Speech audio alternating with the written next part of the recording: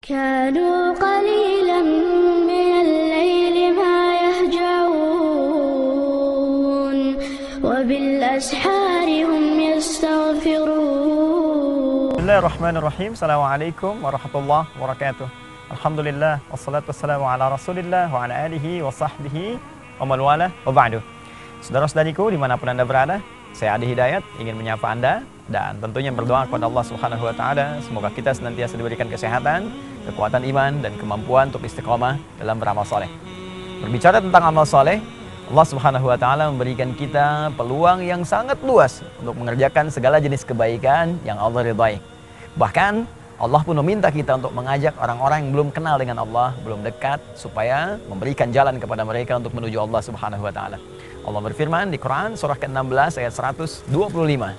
Ud'u ila sabili rabbika bil hikmah. Ajaklah orang-orang yang belum kenal dengan Allah ke jalan Rabbmu dengan cara yang bijak. Bijak, hikmah, tidak harus kemudian dengan kata-kata yang menawan, kata-kata mutiara, atau taklim yang kemudian menyentuh jiwa. Itu bagus. Tapi juga ada sebagian bisa diartikan dengan profesi-profesi yang kita jalani yang memungkinkan kita mengajak teman-teman atau lingkungan kita untuk dekat dengan Allah Subhanahu wa taala. Anda seorang karyawan, seorang pebisnis, seorang dosen, seorang pengajar, birokrat, diplomat, maka dengan profesi Anda, mari kita kemudian ajak orang-orang sekitaran kita untuk mengenal Allah dengan cara yang kita bisa. Di sini sekarang saya sedang berada di Liverpool Football Club. Ya Liverpool FC, tentunya di Liverpool, di Inggris. Ya, Alhamdulillah seperti kita ketahui bahwa di antara pemain sepak bola yang sangat fenomenal saat ini adalah ya, satu di antara pemain Liverpool yaitu Muhammad Salah dan Sadio Mane. Dengan Firmino tentu dikenal dengan trio Firmansa, ya Firmino, kemudian Salah dan uh, Mane. Ya, di antara mereka tentunya ada sebagian yang kita ketahui bahwa Muhammad Salah bukan sekedar bermain, bukan sekedar menjadi pemain sepak bola profesional, tapi juga bagaimana beliau berdakwah dengan gayanya, dengan caranya untuk memperkenalkan Islam kepada lingkungan sekitarannya.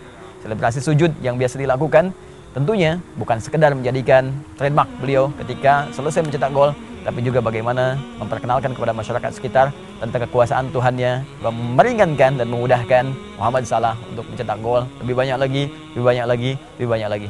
Dan hasilnya alhamdulillah bukan sekedar di Liverpool ini saja, tapi banyak juga di sekitaran Inggris dan juga wilayah sekitarannya yang dengan keadaan Muhammad Salah dan dakwahnya bisa mengenal bahkan memeluk Islam. Adi Hidayat dari Liverpool. Assalamualaikum warahmatullahi wabarakatuh.